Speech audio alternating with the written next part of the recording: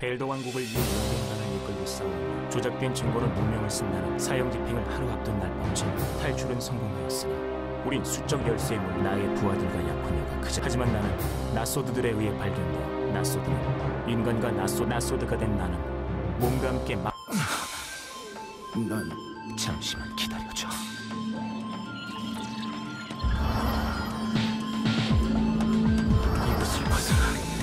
놈들에게 나와 똑같은 고통을 맛보게 해주겠어.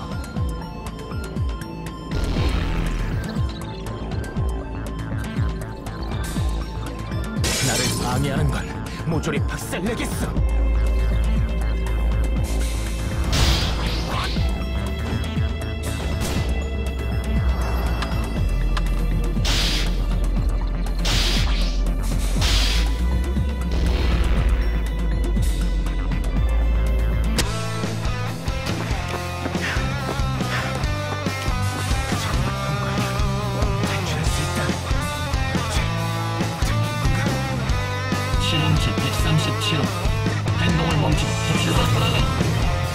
137원 137원 즉시 캡슐로 돌아가라.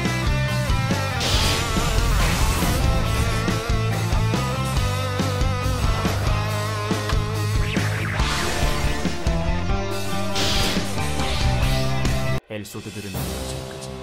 나는 타오르는 복수심에만 휩싸여 수많은 엘소드와의 싸움에서 나는 제어장치에서 해방되어 나는 나의 과거 일의 책임을 지기